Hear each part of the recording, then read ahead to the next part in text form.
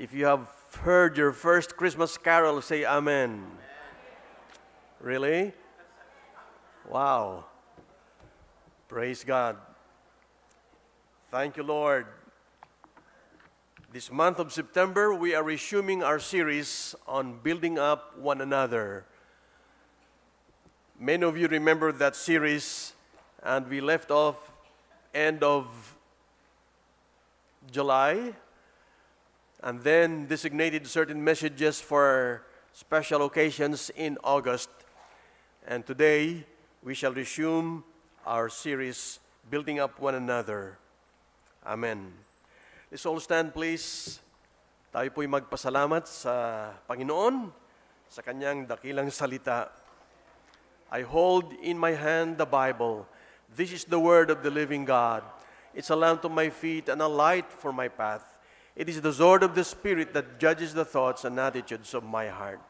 I will meditate on it day and night and will be careful to obey its teachings, thus reflecting the character of Christ my Lord. Heaven and earth will pass away, but the word of God shall endure forever. Amen. Our message today is focused on the admonition accept one another. Tanggapin ang bawat isa na may kalakip na pagmamahal at pagkakilala bilang mga anak ng Diyos. Basahin po natin sabay-sabay ang ating text, Romans 15, verse 5 to verse 9. Ready, go. May the God May the God who gives endurance and encouragement give you a spirit of unity among yourselves as you follow Christ Jesus, so that with one heart and mouth you may glorify the God and Father of our Lord Jesus Christ. Accept one another then, just as Christ accepted you, in order to bring praise to God. For I tell you that Christ has become a servant of the Jews on behalf of God's truth to confirm the promises made to the patriarchs, so that the Gentiles may glorify God for his mercy. As it is written, Therefore I will praise you among the Gentiles. I will sing hymns to your name. Thank you, Lord, for this living word. Hallelujah. For the instruction of the Holy Spirit and for the openness of our hearts, Lord, to accept one another in the same manner that you have accepted us. Salamat po, Panginoon, sa pagtanggap nyo sa amin, sa inyong pamilya.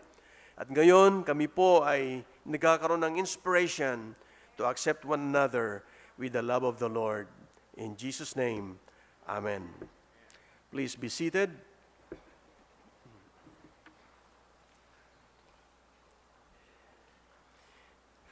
Ito pong sinasabi ng ating text, ipagkaloob nawa ng Diyos na siyang nagbibigay sa atin ng katatagan at lakas ng loob, na kayo'y mamuhay ng may pagkakaisa kay Kristo Jesus, upang sa gayon, nagkakaisa kayong magpupuri sa Diyos at Ama ng ating Panginoong Heso Kristo.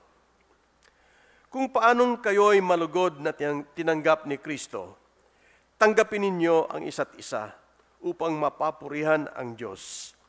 Sinasabi ko sa inyo, si Kristo'y naglingkod sa mga Hudyo upang patunayang ang Diyos ay tapat at tumutupad sa mga pangako niya sa kanilang mga ninuno at upang ang mga hintil naman ay magpuri sa Diyos dahil sa kanyang habag. Tulad ng nasusulat, kaya't sa gitna ng mga hintil, ikay aking pupurihin, ang karangalan mo'y aking aawitin ang iyong pangalan ay aking sasambahin. Pagpalain nawa ng Diyos ang kanyang salita. Hallelujah. Ang ating mundo po ay tinatawag na broken world. It's a broken world sapagkat shattered by divisions and factionalism and the brokenness of sin na napakalakas ang epekto sa ating buhay, buhay ng bawat individual, buhay ng isang probinsya, ng isang syudad, minsay buhay ng isang bansa. And as our nation is in the grips of uncertainty and sometimes fear, the brokenness is intensified. We are constantly struggling against racism. Pagkukumpara sa tao at pagtanggap ayon sa kanakulay ng kanilang balat, bigotry, sapagkat iba ang kanilang paniniwala, intolerance sapagkat wala tayong pagtitiyaga sa ginagawa ng iba o pamamaraan, and factionalism. Subalit mga kapatid, sa pag-resume ng ating serye, Building Up One Another, ay isang hamon sa atin bilang Iglesia ng Panginoon ay maging ehemplo or example, maging modelo na sa loob ng Iglesia ay mayroong pagkakaisa, mayroong pagtanggap ng bawat isa sa lahat ng kasamahan sa pulong na ito sapagkat ang batayan ng ating pagtanggap sa isa't isa ay kung paanong tayo ay malugod na tinanggap ng ating Panginoon sa kanyang pamilya. Sino ba tayo na ipagkakait sa ating kapatid ang pagtanggap samantalang tayo ang unang nakatanggap ng pagtanggap at pagmamahal ng Diyos? And so in the midst of a broken world, kailangan pong makita ng ating mga kababayan at kaibigan at pati na sa ating mga barangay na kinalalagyan, makikita ng ating kapitbahay na buo ang ating pamilya, na hindi nagkakaroon ng separation, and distinction and intolerance, but that instead of these negative things, there is acceptance and love and the spirit of unity.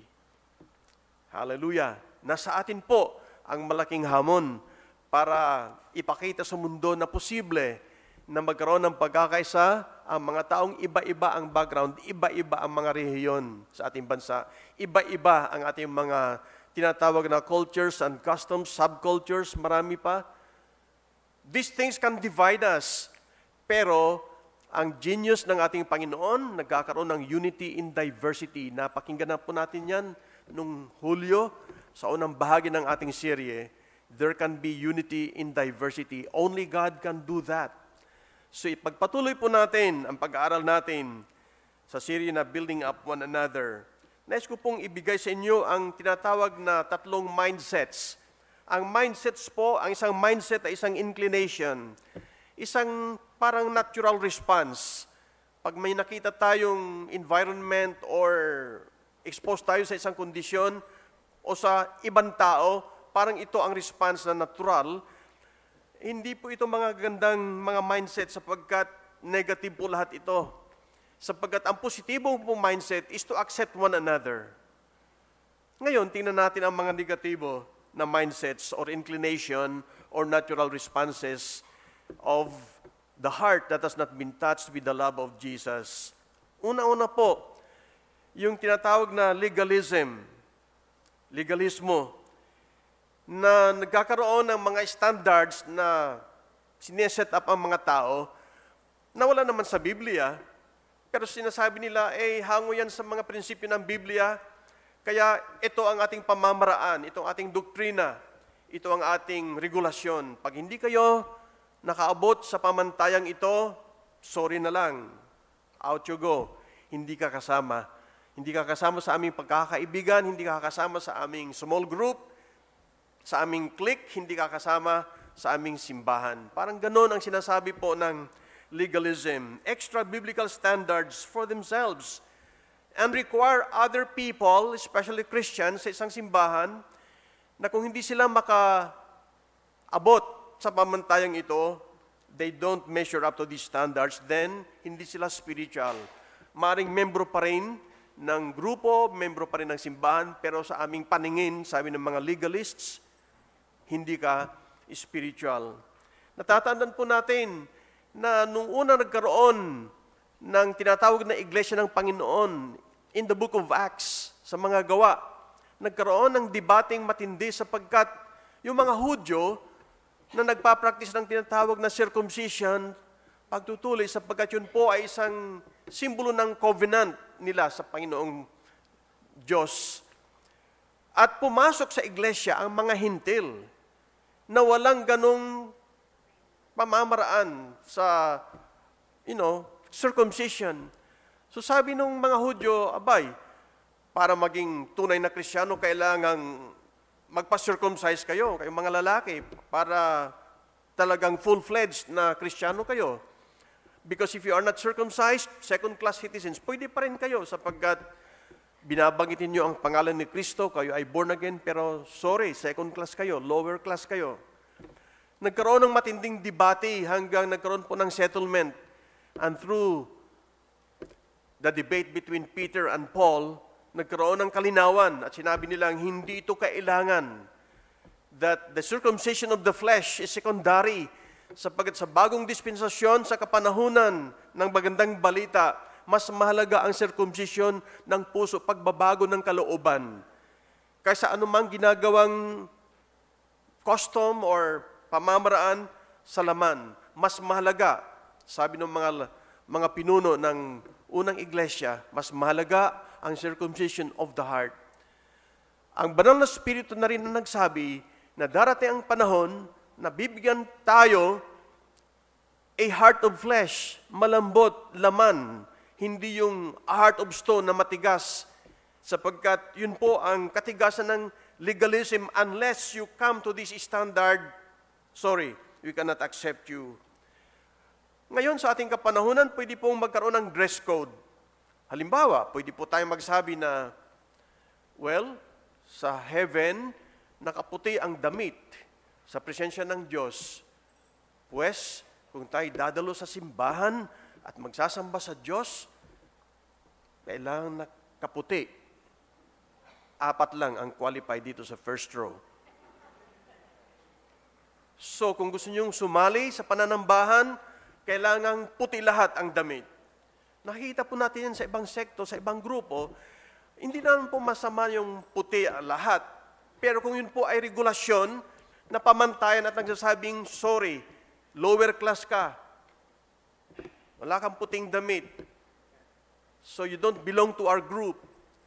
Pwede po rin yan sa haba ng buhok, sa ano pa, sa mga babae, yung makeup, o basta external things na sinasabing, huwag kayo, huwag na huwag. Magsusuot ng alahas, sapagkat ang ginto ay simbolo ng mundo at tayo ay nasa kaharian ng Panginoon.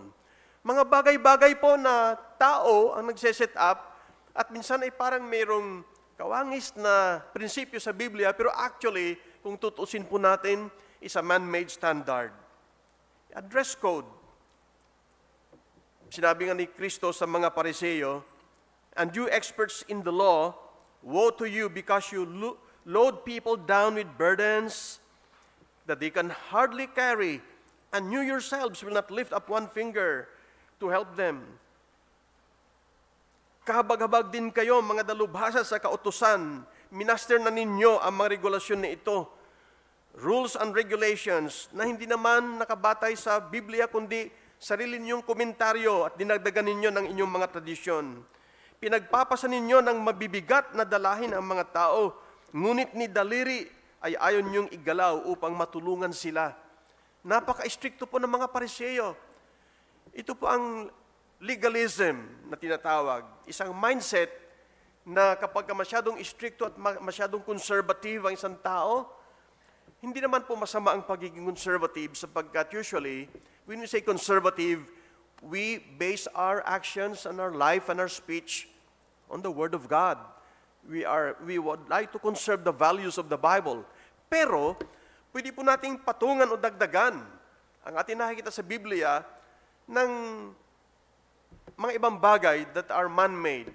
Now, there's nothing wrong with order, with uniformity. Meron pong tamang panahon.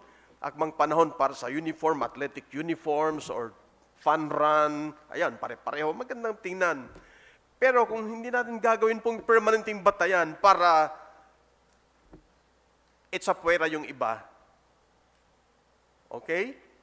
So, ganun po ang legalism. Pangalawang negatibong mindset is partiality. By the way, ang resulta po ng legalism or legalismo ay judgmentalism. Yung naghuhusga, mm, you're not going to heaven, brown ang suot mo ngayon. Oh, I think your salvation is in question sapagkat ang buhok mo ay lampas sa kwelyo mo. So yung mga ganon, is judgmentalism based on externals. Pangalawa, partiality. the tendency to identify with the rich, the powerful, and the influential in order to gain benefit or protect selfish interests. Ito po yung dumidikit at minsan ay nag-name drop ng mga taong importante at nasa katungkulan para magkaroon ng proteksyon o benepisyo para sa kanyang sarili. Yan po yung makikita natin sa James chapter 2 verse 1 to 4. Mga kapatid ko, andyan po ang English version, basin ko po ang Tagalog. Mga kapatid ko, bilang mga mananampalataya kay Heso Kristo na ating maluwalhating Panginoon, dapat maging pantay-pantay ang tingin ninyo sa lahat ng tao. Kung may pumasok sa inyong kapulungan na isang lalaking may mga singsing na ginto at nakadamit ng magara, at dumating din doon ang isang mahirap na puro sulsi ang damit. At inasikaso niyong mabuti ang nakadamit ng magara at sinabi sa kanya, dito po kayo maupo. At sinabi naman niyo sa mahirap, tumayo ka na lang dyan ha, okay? O kaya sa sahig ka na lang umupo. Nagdatangin na kayo at humahatol ng mali. So yun po ang partiality. Masasabi din natin po na favoritism ito sapagkat gaya ng sinasabi ng Roma 12.16, magkaisa kayo ng saloobin. Huwag kayong magmayabang sa halip ay makisama kayo kahit sa mga dukha. Malaking hamon po yan sa atin sapagkat no, mas maganda po na tayo ay popular. Wala po namang, there's nothing wrong with having friends who are influential.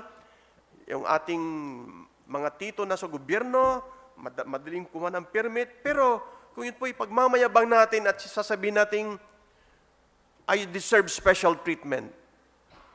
At yung mga walang relatives sa government office, sorry na lang, umupo kayo sa sahig. Okay naman yan, mag- malinis naman yung tiles eh.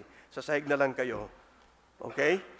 So yun po ay favoritism. Malinaw po ang katuruan ni Santiago Live in harmony with one another. Do not be proud, but be willing to associate with people of a low position.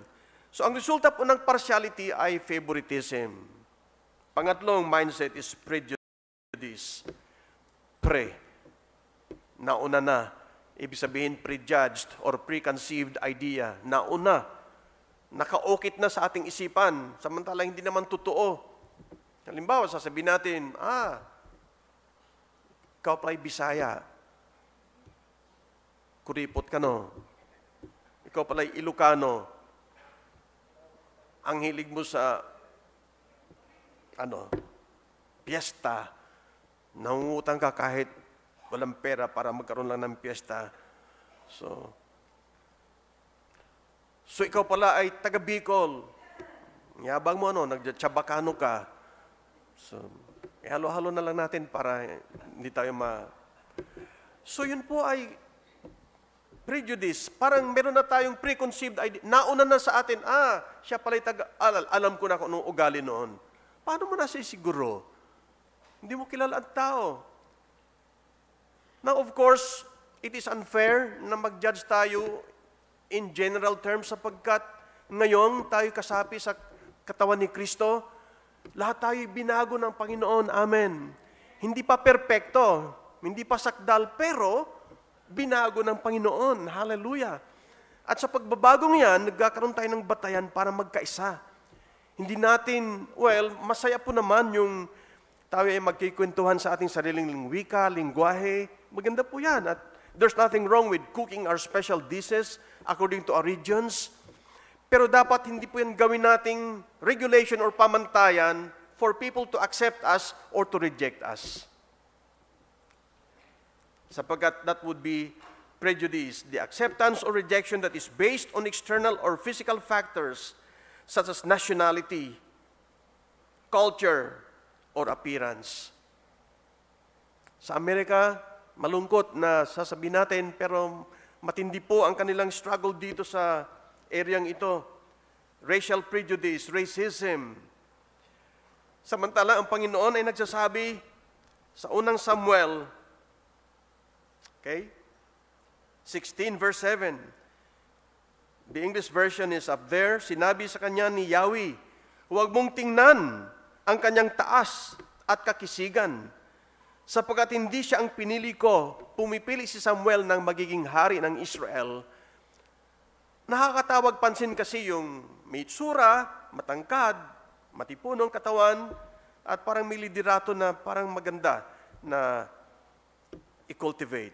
Pero sabi ng Panginoon, huwag mong tingnan ang kanyang taas at kakisigan, sapagkat hindi siya ang pinili ko.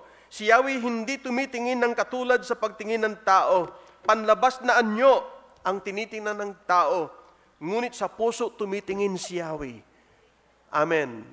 Palakpakan natin si Yahweh sapagkat ganda, maganda.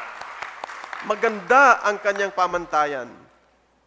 Minsan eh, pwede tayong mag-deceive ng ibang tao sa pamamagitan ng ating external appearance. Di po ba?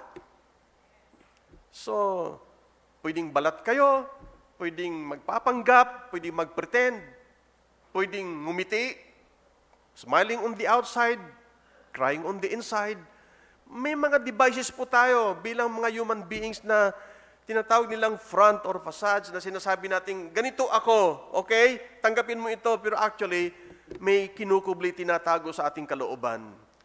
Sa ating Panginoong Diyos, wala po tayong maitatago. Sapagkat diretso po siya sa puso tumitingin. Amen? At maganda naman. Kaya, kailangan tanggalin natin itong negatibong prejudice sapagkat kung hindi pa natin lubos na kilala ang isang tao, magtataka tayo.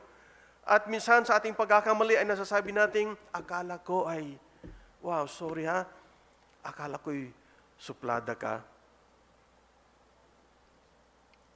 Yun pala ay totoo. Or, hindi totoo. Ang bait mo pala. Sabi ng isa ay, oo naman, kasi parang insecure lang ako at saka may inferiority complex ako. Akala nyo ay snabera ako. Pero actually, pag nakilala nyo ako, may mga discovery po na gano'n, nakakatuwa. Hindi lamang sa ibang tao, pati na sa ating sarili. May nagsasabi sa atin, ah, ganyan ka pala, wow. Okay kang friend, yun ba? Ang ganda pong discovery yan sapagkat nawala ang prejudgment, ang prejudice. Nabura ang preconceived idea Hallelujah. Ang negative na resulta po ng prejudice ay racism. When acceptance or rejection of others is based on these three mindsets, ang bunga, ang resulta ay judgmentalism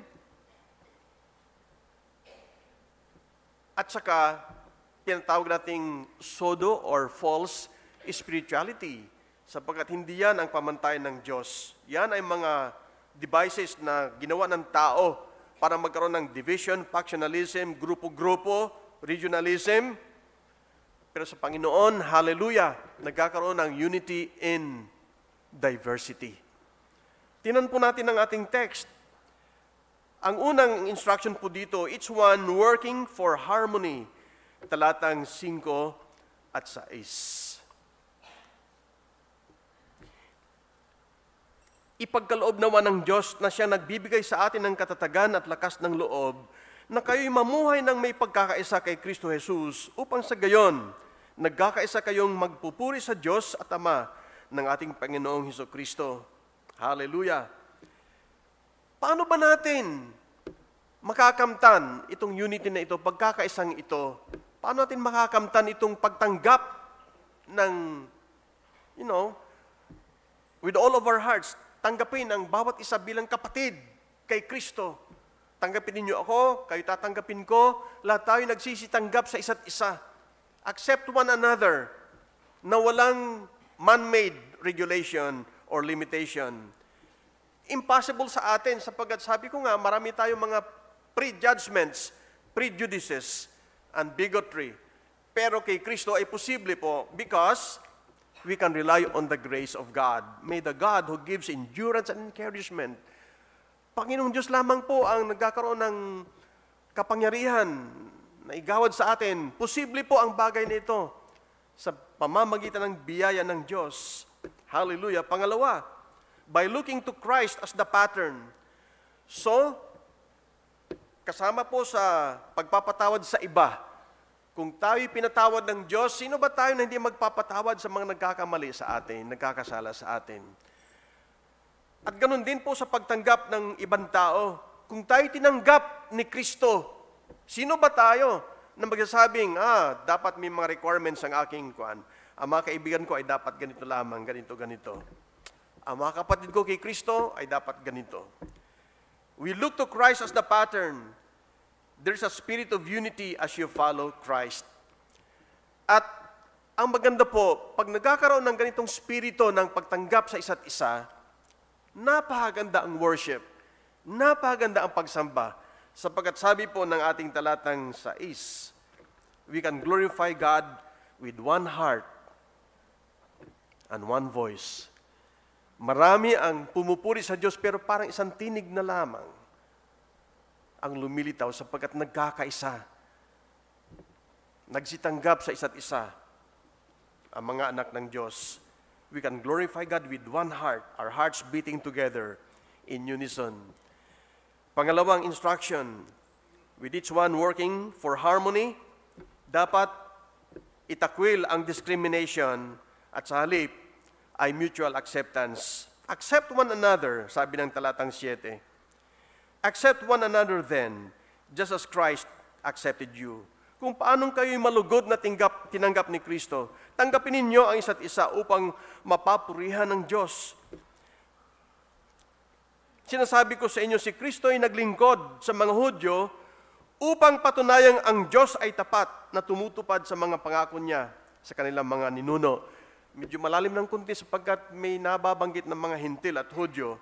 Ang ibig sabihin po niyan ay ganito. Unang-una, accept or receive one another in the same way that Christ has accepted us. Actually, sa ating pagsalo-salo po sa communion, Di ba? This is the Lord's Supper. Paghapunan, paghapunan po, ang hapunan ay para sa pamilya.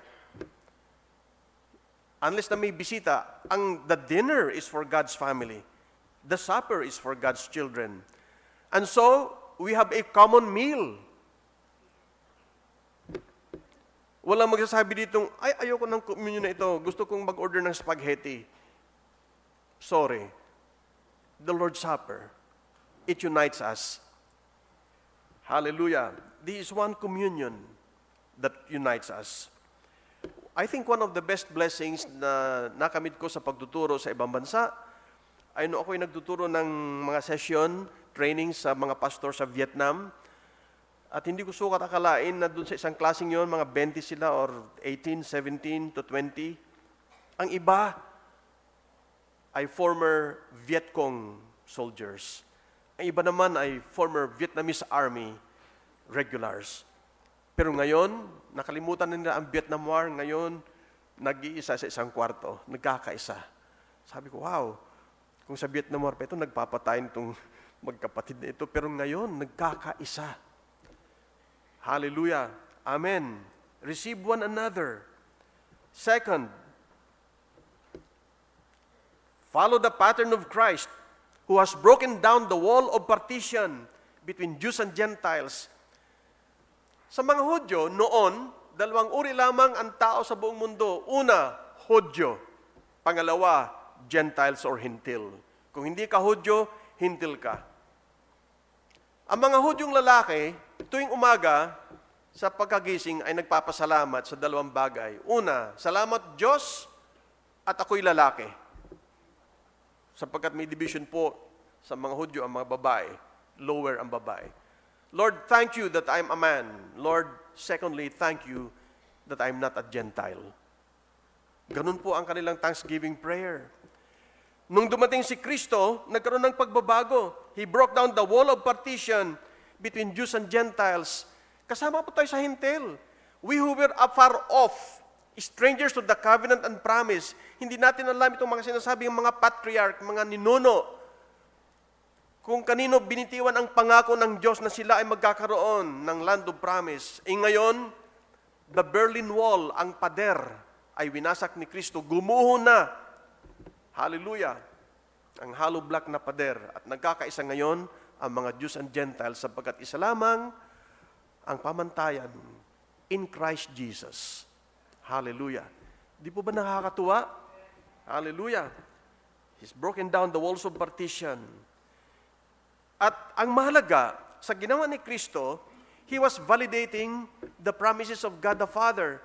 Sapagkat hundreds of years ago, ipinangako kay Abraham na magkakaroon ng blessing sa kanyang lahi. And through him, the whole earth would be blessed. Ilang siglo ang hinintay bago natupad ang pangakong yan. But when Christ came, yun po ang katuparan ng Genesis 3.15, the seed of the covenant. And so Jesus Christ has blessed both Jews and Gentiles.